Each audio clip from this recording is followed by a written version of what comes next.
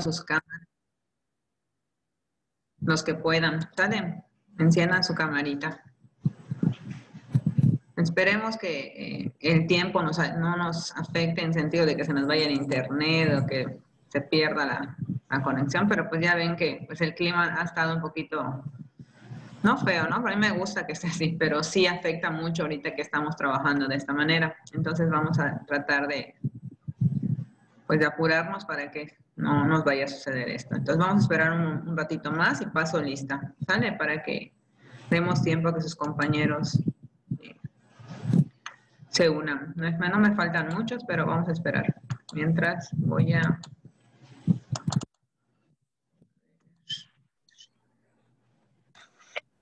vi que la, última tarea, cuatro personas no me la entregaron, la que les dejé la semana pasada. Entonces, sí, este, esos que no, no han entregado su tareita, pónganse al día porque ya vamos a cerrar el corte. ¿Ok? Ya estamos a punto de ya terminar nuestro primer corte. Entonces, sí, ya, eh, pues obviamente yo tengo que asentar calificaciones y en base a todo lo que hemos trabajado, usadas y todo lo que hemos hecho en las clases, pues de ahí tengo que basarme. Entonces, si ustedes eh, tienen algún pendiente con tareas, eh, súbanla, todavía estamos a tiempo.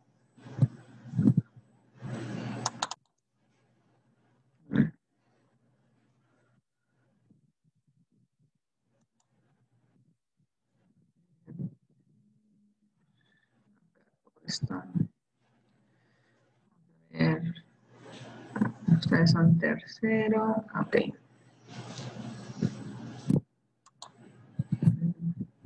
Vamos a buscar tercero que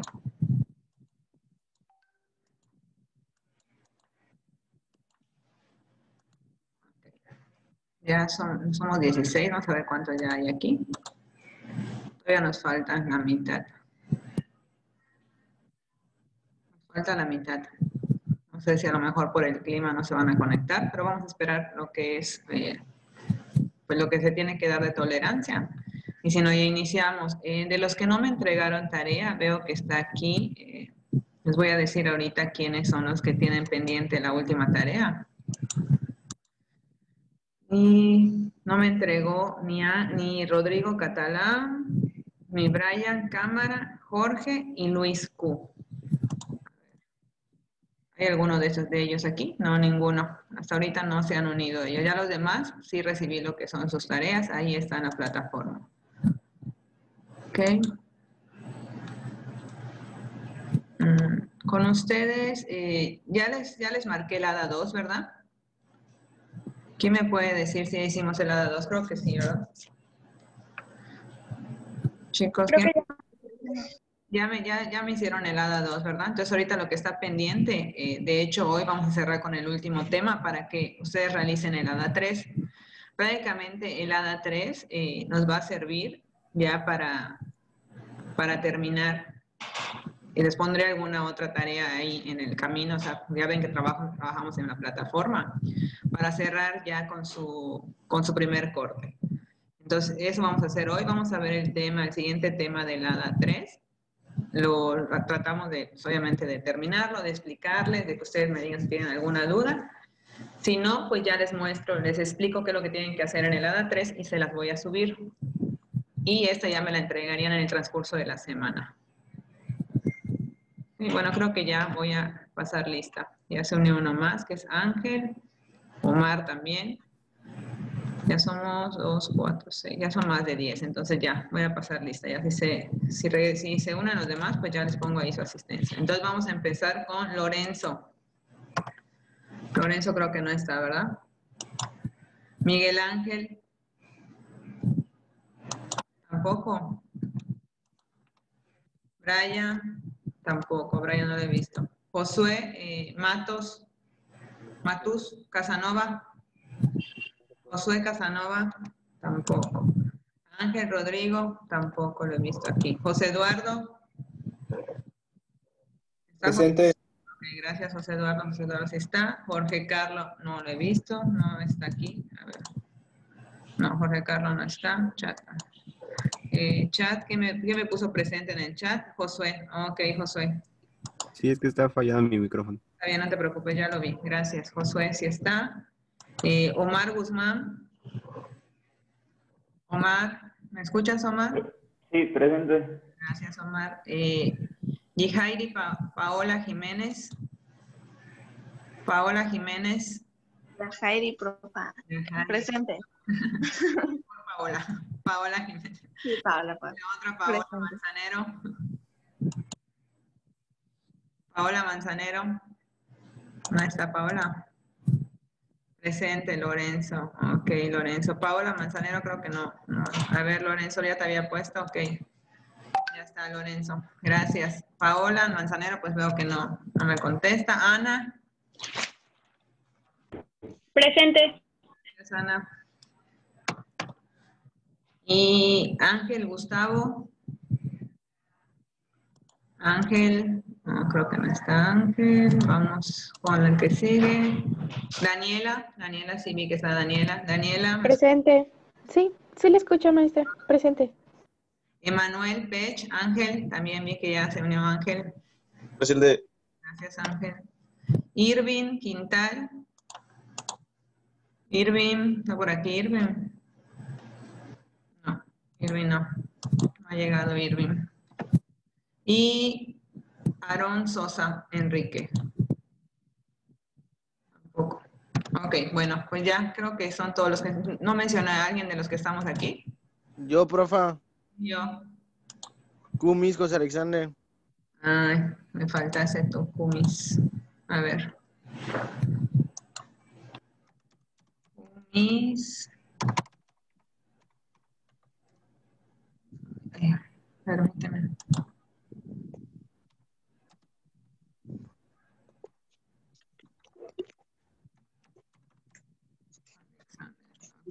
Ya está, Alexander, gracias. ¿Nadie más? Jorge Carlos, ya vi que ya entraste, Jorge Carlos. Estoy pasando lista, Jorge Carlos. Presente. Ya Presente. Sí, ya te escuché. Bueno, pues ya creo que ya, ya este, somos los que vamos a, a trabajar el día de hoy, ya son 9.10. Entonces, eh, para los que acaba, bueno, Jorge Carlos, eh, tú eres uno de los que me faltó. Hace un momento le estaba comentando a otros compañeros que me faltaron cuatro personas por entregar la tarea 6. Entonces me faltaste tú. No, no me llegó tu tarea. Si la subiste, pues no me aparece como que, o sea, no la recibí, me aparece como que no la entregaste. Entonces, nada más para que les vuelva a recordar que ya estamos a punto de cerrar el primer eh, corte. Entonces, todo lo que hemos trabajado, lo que tenemos en la plataforma, lo que son las hadas, que nos falta una que es la que vamos a hacer eh, en, esto, en esta semana, que es el hada 3. Eso les va a servir a ustedes para ya cerrar con su calificación. Igual, este, Rodrigo, eh, tú también eh, no tengo tu trabajo que es la tarea 6, entonces igual, apenas puedan el día de hoy, súbanla ahí para que ya yo también pueda calificar esa tarea, ¿ok? Ángel Rodrigo, ¿me escuchas? Sí, maestra. Ok, por favor, nada más para que lo... ¿Dónde estás tú, Ángel Rodrigo? Ya te había pasado. Ok, ahí te voy a poner la asistencia. Ya está. Bueno, entonces voy a, a compartirles lo que es el tema. Me dicen si lo pueden ver, por favor, un momentito. ¿Se ve? Ay, no, no, no. Mm, Así, maestra. ¿Todavía están archivos? Ok. ¿Ya o nada? ¿No ha cargado? Ya. ¿Sí? ¿Ya cargó? Este, ¿Ya se ve? Dice división del trabajo. ¿Sí lo logran ver? Sí, sí se ve.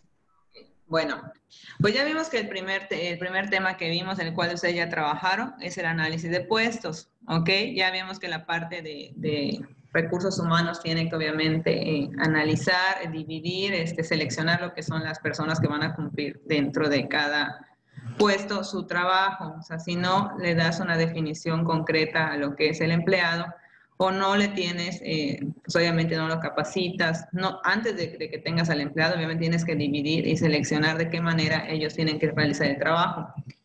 Este, proporcionar todas las herramientas, cuidar el ambiente laboral, etcétera. Entonces, una vez que ya pasó, ya tienes ya analizado lo que son tus puestos, vamos a dividir el trabajo. ¿Ok? Ese es el siguiente tema, la división del trabajo. Nos dice que consiste en la participación de diferentes tareas que conforman el proceso productivo de un bien o un servicio, el cual se reparte entre un grupo determinado de personas. Es el origen de la especialización. Ya que tienes la división, ahora vas a especializar el trabajo. O sea, ya dividiste, aquí nos habla de que se tienen que dividir las tareas, o sea, especificar qué, qué, vas a realizar dentro de cada puesto y después eso va a originar que se especialice ya, que te vuelvas, que el, trabajo constante haga una especialización, la persona ya tenga la, facilidad y vaya mejorando en el trayecto la forma en que realiza ese trabajo. Esto consiste en la fragmentación de las tareas necesarias para la producción de un bien o servicio, las cuales se reparten en una serie de individuos. Habitualmente vamos a, a, tomar en cuenta lo que es su fuerza, capacidad, especialidad o naturaleza, que eso también ya lo habíamos visto, que no cualquier, eh, no, de acuerdo al trabajo que ustedes vayan a realizar dentro de una empresa, es, es las habilidades o las capacidades, la actitud, incluso también cuenta mucho lo que es la fuerza física. No podemos poner a, a cubrir cierto cierto trabajo dentro de un, de un puesto si realmente se considera mucho que hay que tener en cuenta lo que es lo físico, ¿no? Y también, pues obviamente, la capacidad. Nos dice que se puede dividir el trabajo de acuerdo a las, a especialidades de cada uno de sus integrantes. Así que los ingenieros, administradores, contables y los médicos y científicos estarán capacitados para asumir tareas de acuerdo a su grado de especialización. En cuanto a estos, estos que nos menciona aquí, estos, estos puestos o estas, este, esto lo que es los, los trabajos de los ingenieros y de lo demás, obviamente pues no podemos eh, nosotros hacer un asumir un puesto de médico si realmente no estamos preparados, ¿no? O sea, para ser un médico ustedes saben que hay que estudiar pues demasiado. Ya, de hecho, ellos son uno, uno de, los, de, los de los puestos que podemos decir o de las carreras que nunca dejan de, de, estudiar. ¿Por qué? Porque tienen que obviamente eh, actualizarse de acuerdo a, lo que, a la ciencia, como vaya avanzando, a lo que vaya surgiendo durante, obviamente, eh, pues su camino, ¿no? Entonces, obviamente no, no se podría cubrir el puesto de un médico con cualquier persona, tiene que tener una especialización dentro de su área. También nos dice que se habla de una división del trabajo natural secuencial, es decir, de una rama laboral que a su vez necesite el apoyo de otras personas para su cooperación. Por ejemplo, aquí nos dice que una fábrica textil manufacturera necesita de alguien que opere el ensamble o la fabricación, como también en brindar los retoques finales a las telas. en lo que es una fábrica, pues vamos a ver que se van a, se van a dividir dentro de lo que es este, la producción, pues de muchas áreas dentro de, de esta parte. Desde que nos dice que necesita alguien que se va a encargar de lo que es el ensamble, hasta los que van a, van a brindar lo que son los retoques finales. Entonces, estamos hablando que dentro de esa parte de, de este trabajo, por ejemplo, de, de, una fábrica, pues se van, a, se van a, desglosar y se van a utilizar varios puestos. O sea, varias personas tienen que hacer diferentes este, actividades. ¿Por qué? Porque al final lo que se va a obtener pues aquí como tal es una tela, ¿no? Pero va a pasar por diferentes procesos en los cuales dentro de cada uno de estos tiene que tener una persona que se va a encargar de, pues, de realizar esa actividad. Esa alternativa de laboral también se le conoce como división de trabajo horizontal. ¿Ok? Otra manera nos dice también que es el plano vertical tomando en cuenta que existen canales regulares, regulares o jerarquías que deben ser respetadas, yendo desde el gerente menor, de menor rango, hasta el propietario de la compañía. Entonces, es ahí donde ya va a entrar lo que les habíamos comentado, habíamos hablado también del organigrama. Entonces, para que esto pueda suceder de manera jerárquica, tiene que tener, obviamente, lo que son canales o niveles o grados de, de, de pues, obviamente, de especialización. Entonces, ¿quién me ayuda leyendo este ejemplo? Donde vamos a conocer un poquito más de qué manera se, se hace. También nos habla de fábrica. ¿Quién lo quiere leer? Yo. Yo. A ver, dime nombre para que yo lo anote. De la Cruz. ¿Quién? De la José Eduardo. José Eduardo. Ok, José Eduardo. Ya ustedes con que me, me digan sus nombres ya los, ya, los, ya los identifico mejor, no tanto con sus apellidos. A ver, José Eduardo. Dime, vamos a leer este ejemplo. Un obrero que no tenga la menor idea sobre cómo construir un alfiler o que tampoco tenga grandes conocimientos sobre sus utilidades, muy difícilmente podrá confeccionar este objeto en su día a día dentro de la fábrica. En la actualidad, la producción de alfileres está a cargo de distintos obreros que se encuentran capacitados para lograr esta tarea. Sí, Ok. sigue, sigue, sigue, José Eduardo. En otro caso, un obrero será el responsable de estirar el alambre, mientras que otro se ocupará de enderezarlo. El tercer trabajador contará con el rol de ir cortando los trozos de alambre hasta que queden simétricamente iguales. Ok, aquí lo que me acaba de leer José Eduardo, ¿de cuántos obreros estamos hablando que realizan el trabajo dentro de lo que nos acaba de leer él? ¿Quién me dice? ¿Cuántos ya son?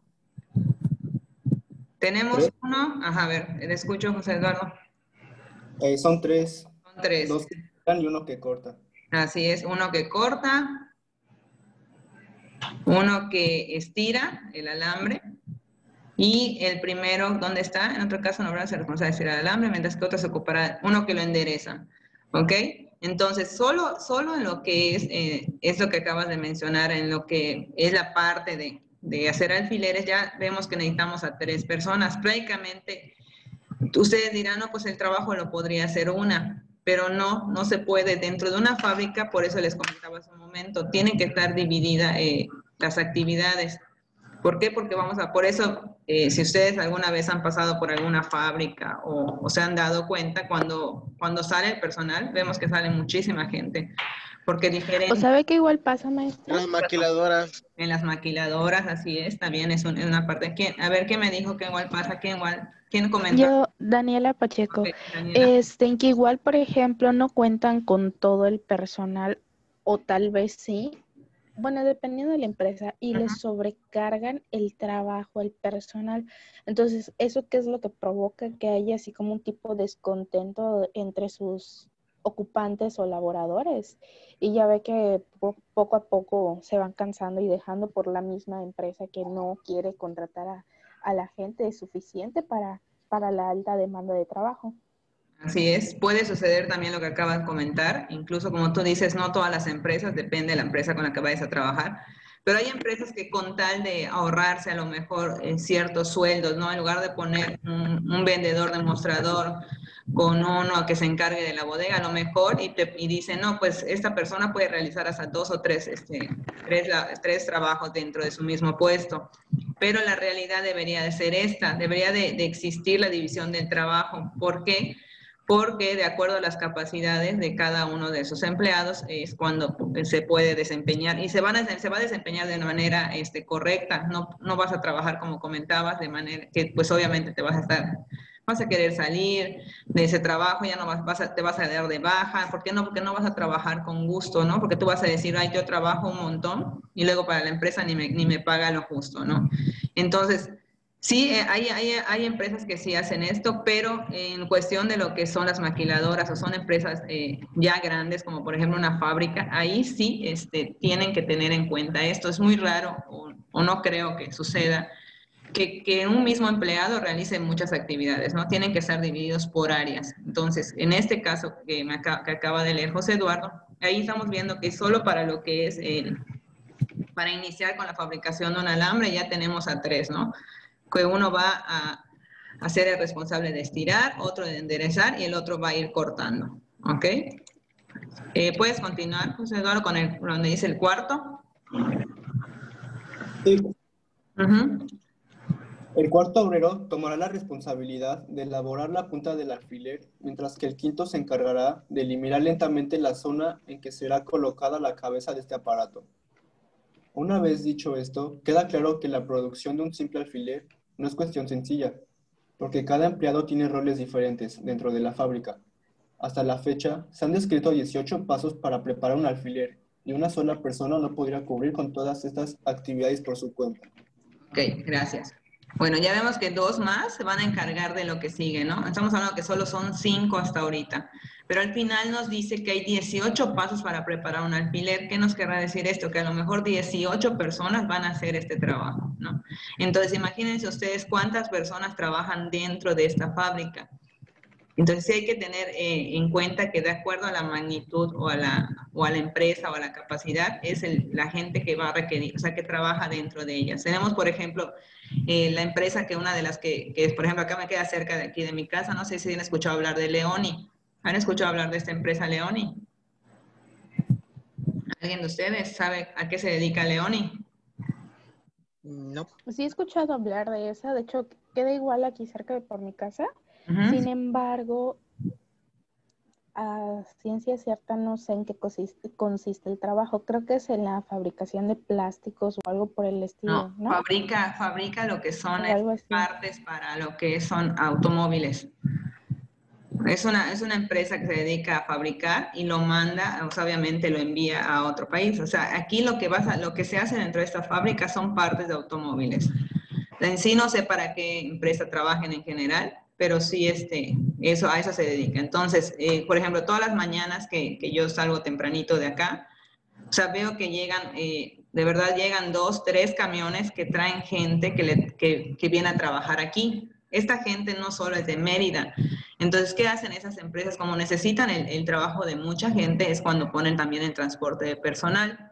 Y a lo mejor esas personas vienen de algún poblado, de alguna, de, alguna cercanía de aquí, pero ¿qué hace la empresa? Igual ya tiene esta consideración de que me imagino que les dirá, los veo, los, los, los veo en tal punto y luego pues los traslada a la, como queda después del periférico, igual para ahorrar yo creo que todo esto para los empleados es una comodidad y esto como lo quieran ver, pues al empleado le, le causa cierto agrado, ¿no? De que pues no te vas a, no vas a gastar en qué es transporte y pues la empresa se hace cargo de esos gastos. Entonces, ese, tipo de empresas así grandes que como esta, como esta fábrica, pues sí, cuentan con, con tienen la capacidad para contratar eh, pues de mucho, mucha gente, tanto lo que es administrativo, obreros, eh, incluso también tienen camiones, los choferes y todo esto. Entonces, imagínense la, la, magnitud que trabaja, de la cual está compuesta una empresa de ese tamaño. Lo mismo con Coca-Cola, que también aquí está aquí cerca, igual vemos que entran y salen obreros, eh, tienen tres turnos, o sea, son empresas que ya, ya son grandes, están establecidas y que tienen que tener para cada eh, puesto, ya tienen que tener descrito quién va a realizar cada cosa dentro de. Así, la, así la, para, no sé, para la producción de una Coca-Cola, pues me imagino que está el envase, hay que hacer los envases también, ellos mismos los hacen. El o los de crío, maestra. O los de crío también, así es. Los de crío, o sea, nosotros aquí en, bueno, aquí en Mérida contamos con ya, este, pues obviamente muchísimas empresas de ese, de ese tamaño. Está Lala, está Crío, está Bachoco, si ustedes se van por la parte de humana, ahí hay muchísimas, este, eh, lo que son, podemos decir, plantas de trabajo, fábricas, los portales, etc. ¿Qué, ¿Perdón? ¿Qué, Quequén también. Quequén tiene sus, este, mi esposo trabaja en Quequén, de hecho, y tienen sus plantas eh, donde ellos eh, crían a los, a los, a los cerdos. ¿Acá en Umam? ¿Cómo? ¿Acá en Umam? No, él está, eh, bueno, él es, él es chofer vendedor pero pues la planta de ellos, hay una aquí en Humán y hay una que está, bueno, es esa, porque de hecho una vez pasamos y me dijo, mira, aquí se hace, está todo lo que, aquí están los, ¿cómo le llaman ellos? Los, los criaderos, creo, donde tienen a los cerdos y todo eso, ¿no? Entonces, esas son empresas grandísimas y así como, por ejemplo, él trabaja eh, para que pero no trabaja dentro de la fábrica, trabaja en lo que son los expendios. Dentro de la fábrica esta que está en Humán hay gente que está trabajando como obreros, como creadores, como administrativos, etc. Entonces, eso es, eso, eso es para que se den una idea ustedes de que dentro de cada empresa hay que cubrir ciertos puestos, pero también hay que dividir el trabajo para que obviamente el, el, trabajo se haga de manera correcta y los resultados que les, la empresa pues, espera al final, que obviamente es utilidades, este, ventas, etcétera, se obtengan porque está capacitado cada una de las personas que trabajan en, pues, dentro de las empresas. ¿Ok? Vamos a leer las ventajas. Nos dice que una de las ventajas de lo que es en la división del trabajo, nos dice, como les acabo de mencionar, el incremento de la productividad. Esto va, se va a ver reflejado en lo que son ganancias, utilidades, eh, ventas, etcétera. Mayor calidad en el producto o servicio. ¿Por qué mayor calidad? Porque pues, cada persona que realiza el, el, trabajo lo va a hacer de manera correcta y va a tener una constante capacitación también. Entonces, lo que el, producto que al final se va a ofrecer o el servicio del cual se está, se está hablando, pues va a ser, se va, va a ser de calidad, ¿no? ¿Por qué? Porque está trabajado, está este, pensado de manera correcta y solo una persona se va a dedicar a realizar lo que tiene el, lo que es su labor. Menores costes en la producción, obviamente al tener una mayor calidad, productividad, va a reducir los costos. vas a tener menos costos en caso de producción, pero mayor productividad. Facilidad para el desarrollo tecnológico y mejora la calidad de vida del trabajador. Como nos comentaba Daniela, pues en lugar de ser un trabajador que va a estar en desagrado, que va a decir, no, pues toda la carga laboral la tengo yo y al final de cuentas, a lo mejor en sueldo no veo esa remuneración, pues los trabajadores ya teniendo ya su, ya, eh, su, correcto de, eh, división del trabajo, ellos van a tener una mejor calidad igual. Ya no solo van a estar dedicados al trabajo, sino van a poder, pues, obviamente, tener, estás en el trabajo, realizas tu trabajo y sales y no te vas a llevar a lo mejor trabajo a tu casa, ¿no? ¿Por qué? Porque ya cumpliste con tu hora laboral y estás cumpliendo con todo lo que se tiene, que tienes que, hacer dentro de. Y en cuestión de desventajas, nos habla que dice que monotonía en la vida del trabajador, porque a lo mejor igual puede suceder que pues ya, como ya tienes ya prácticamente pues ya definido lo que tienes que hacer, va a llegar un momento que ya solo lo hagas, eh, lo hagas de manera ya este, monótona, ¿no? Pues tú ya sabes que llegas, entras a las 6 de la mañana, a las 10, a las 9 te dan tu hora de comida, sales a comer, regresas a las, a las, a las, 10, a las 11, luego de ahí, pues, ¿qué tienes que hacer? A lo mejor capturar archivos, a lo mejor facturas, de acuerdo al trabajo que hagas, etcétera. Entonces ya, como que a lo, depende igual, podría ser que, que quede como de manera monótona, que el trabajador a lo mejor llega, llega un momento que se aburra, ¿no? De tanto que ya sabe lo que tiene que hacer. Lo mismo nos dice con frustración por la repetición continua de, tareas, menor consentimiento técnico, mayor dependencia con el empleador y destrucción del espíritu creativo. ¿Qué sucede con esas desventajas? Que obviamente se tienen que tener en cuenta y pues hay que buscar la manera ya que, pues obviamente eso ya va a depender de lo que es eh, recursos humanos o del trabajador directo, que no, que no llegue a esto, ¿no? Que, que no pase esta situación, porque pues puede suceder en el transcurso del, del camino, pero hay que buscar la manera, a lo mejor con actividades eh, o capacitaciones constantes, o no lo sé, para que esto no llegue a suceder y no se sienta el empleado de esta manera. Porque igual, aunque todo esté bien, cada uno sepa lo que tiene que hacer dentro de su, de su puesto de trabajo, va a llegar un momento que, como nos dice aquí, esas podrían ser una parte de las desventajas. Entonces hay que procurar cuidar esos aspectos también para que no sucedan. ¿Ok? Vamos a hablar qué es un organigrama. ¿Quién me dice que es un organigrama? ¿O quién me ayuda a leer esta parte de organigrama? Yo, maestra. Yo, maestra. Yo, A ver, ¿quién dijo primero? Yo. Nombre. Lorenzo. Lorenzo. Ok, Lorenzo. A ver. Eh, organigrama es una representación gráfica del esqueleto de una organización, mostrando los cargos eh, jerárquicos. El organigrama permite obtener una idea rápida de cómo está organizada una empresa, eh, cooperativa u organización sin fines de lucros. Cualquiera sea, cualquiera sea el tipo de organización, el, organigrama es válido. Ok. Eh, antes de, bueno, tú ya conoces los organigramas, este Lorenzo, ¿has visto alguna vez un organigrama? ¿Han trabajado sobre lo que son los organigramas? pues no, bueno. ¿No? ¿Alguien sí ha trabajado en la realización de un organigrama ahí como pues tarea que ustedes les hayan dicho, los maestros que organicen, un que realicen un organigrama?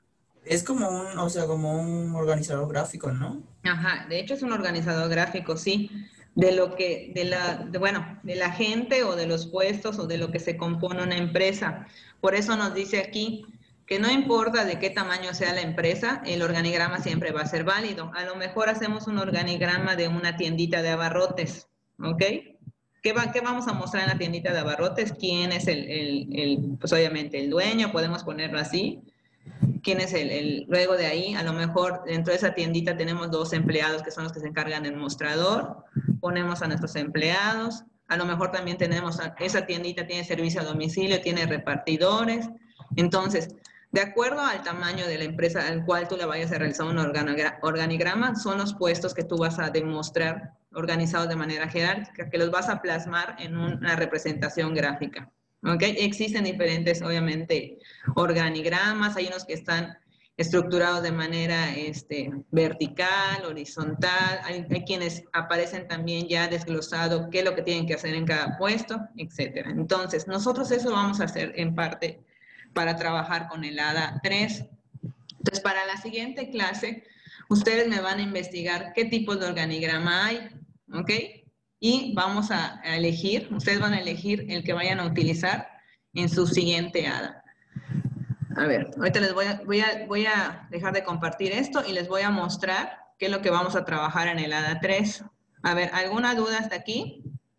En cuestión de por qué la división de trabajo, ¿Alguien tiene alguna duda? Chicos. que el trabajo más bien de, la tarea o...? No, no, no, de lo que acabamos de ver, de por qué razón se, se tiene que hacer la división de trabajo, en que pues, vimos un ejemplo también que de acuerdo a lo que se vaya a realizar o a la empresa es la capacidad de empleados que va a tener. Cada uno tiene que tener, pues ya vimos que asignadas sus actividades, etcétera. Entonces, hasta ahí no queda ninguna duda. No, no ninguna, profa. Ok, bueno, ahorita les voy a mostrar. Ahorita ya me dicen si se puede ver esto. ¿Ya vieron lo que es el... ¿Se ve el ADA 3? ¿Se logra ver? Está cargando, sí. Ya. ¿Está cargando? Ok, me avisan cuando ya se vea. Ya se ve, maestra. Ok, bueno. Esto que les tengo, eh, pues que ustedes están viendo aquí en su pantalla, nos habla de lo que estamos trabajando. Vamos a trabajar. Ya vimos que trabajamos el análisis de puestos y ahorita trabajamos sobre la división del trabajo. ¿Qué es lo que van a hacer? Esa no es la rúbrica, la rúbrica saben que yo se la subo, sin embargo aquí es para que veamos, eh, antes de que se termine la clase, les explique. Nos dice, de manera individual, van a adaptar el proceso de análisis de puestos de, a una empresa real. Aquí ustedes tienen que eh, volver a, seleccionar la empresa, si no es que, si pueden trabajar con la que ya hicieron la helada pasada, porque también les pedí lo que es una empresa, ¿verdad? Sí. Pueden usar esa misma y sobre esa van a ustedes a detallar eh, la metodología para la recolección e información de lo que es la, la, división de trabajo. ¿Ok? Eligen su empresa, que ya la deben de tener si quieren trabajar sobre la misma. Me van a hacer su organigrama de esa empresa, incluso hay quienes ya lo tienen, eh, cuando ustedes vayan a investigar sobre la empresa, ya les va a arrojar directamente el organigrama. Si no es así, ustedes en base a, a la empresa de investigación que ustedes tengan, pueden ustedes realizarlo. O sea, no importa que no sea el, el, el verdadero, podemos decir así, de la empresa en sí, pero vamos a, a, imaginar que nosotros estamos haciendo lo que es nuestro organigrama, ¿no? De qué manera vamos a poner arriba a nuestros gerentes, cuántos, cuántos departamentos existen en esta empresa en base a la investigación que hagamos y así, ¿no? Entonces, no necesariamente, a ver, ¿alguien dice algo? No lo escucho. Sí, yo, eh, una pregunta, si, por ejemplo, la empresa que yo elegí ya tiene un organigrama, no puedo. Solo tengo que volver puedo volver a, o sea, solo tengo que copiarlo, ¿no? O sea, volver a hacerlo y así como está, pero que yo, lo, yo, mismo lo haga, ¿no? Sí. Sí, sí, sí, lo puedes ah, utilizar, puedes trabajar con ese, sí.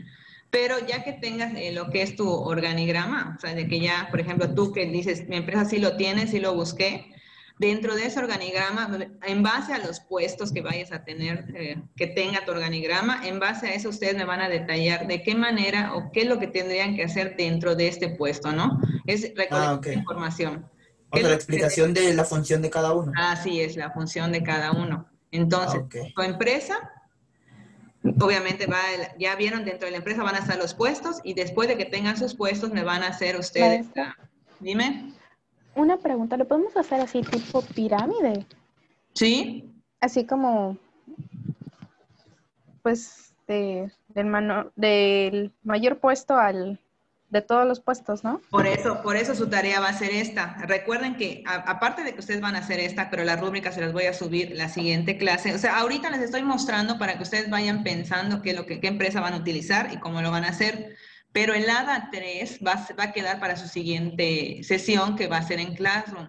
Ahorita, la tarea de hoy, por eso es que les dije que me, que me, que me investiguen los tipos de organigrama. Porque una vez que ustedes los investiguen, ahí se, va a dar, se van a dar cuenta de qué manera o, cómo se divide en lo que es un organigrama. Cuando ya tengan esto, ustedes van a elegir qué organigrama van a trabajar. ¿Ok? De todos los que ustedes les vaya a sumar, ustedes me van a decir, maestra, el tipo de organigrama que voy a utilizar para mi, pues mi ADA 3 va a ser el, no sé, el decimal, podemos decirle así. O el vertical, o el horizontal, o el que se divide por su naturaleza, y etcétera. Entonces, eso va a ser lo que van a hacer ahorita. Entonces, ahorita que terminemos la sesión, yo les subo la tarea que va a ser esta, que es investigar los tipos de organigrama y elegir el que vas a utilizar en tu ADA, con cuál vas a trabajar para la, realización de tu ADA. Y el ADA se las voy a subir la siguiente clase, que nos vemos, a ver qué día, qué día les, les vuelvo a ver. Todavía no se me ha quedado porque son un montón. Nos vemos en, ¿dónde está? Hasta el jueves. De hoy el jueves que yo que trabajemos en lo que es Classroom, ahí les voy a subir ya en sí el ADA, el ADA de la rúbrica del ADA 3.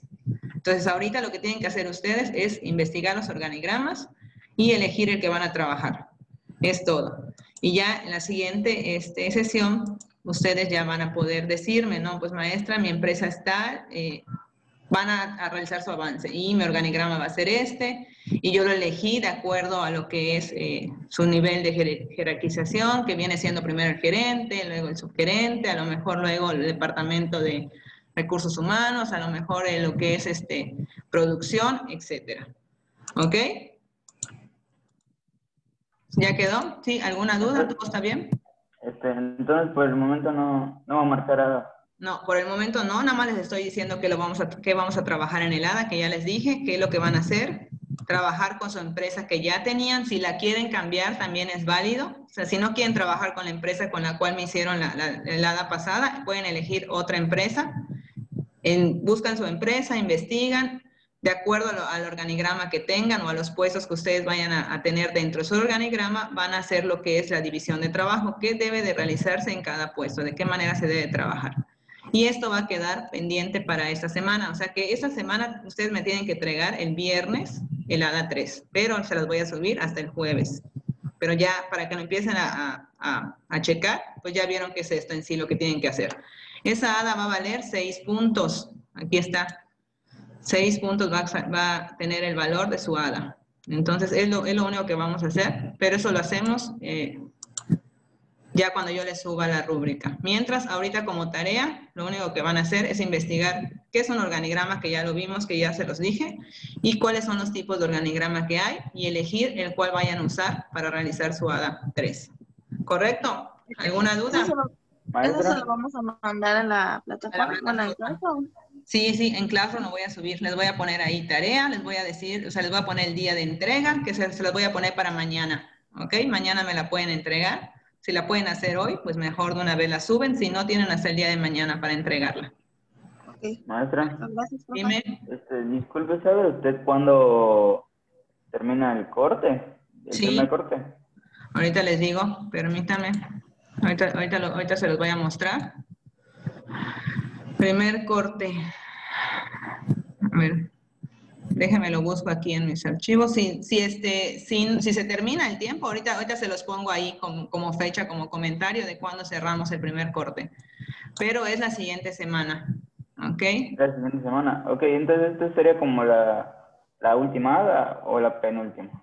La, pues yo creo que es la última. Entonces, lo que es lo que les decía, voy a buscar, eh, pues, que cierren con estas tres y por eso les decía que ustedes chequen ahí si tienen algún pendiente conmigo en cuestión de tareas, si no han subido alguna tarea, que tienen oportunidad para hacerlo en estos días, para que cuando yo cierre las calificaciones, pues obviamente tomen en cuenta sus trabajos, lo que son sus participaciones ya las tengo anotadas, entonces las asistencias igual van a formar parte de su calificación y lo que hemos trabajado en la plataforma. Entonces, todavía tienen tiempo de, eh, de, checar. Por ejemplo, en la tarea 6 hubieron cuatro personas que no me la entregaron y así, ¿no? Entonces, eh, chequen ustedes, pueden entrar a la plataforma, qué tarea tengo pendiente, a lo mejor se les olvidó o, pues por tanta tarea que tienen se les, se les pasó enviar su tarea, pero hay tiempo de que todavía se pongan al día. Una vez que obviamente ya se cierre el corte, ya no va a haber manera de que, su, que los puntos que debieron de obtener durante este corte pues se puedan recuperar, ¿no? ya nos pasaríamos al siguiente corte y ahí pues ya tendrían que ustedes pues aplicarse un poquito más. Recuerden que el corte eh, tiene un valor de 35 puntos.